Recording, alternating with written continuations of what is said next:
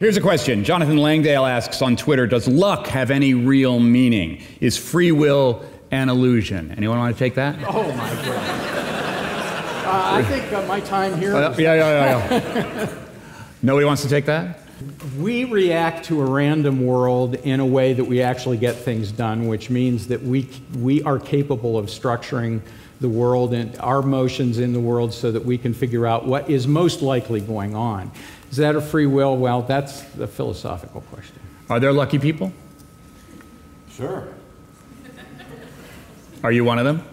Sometimes. Yeah.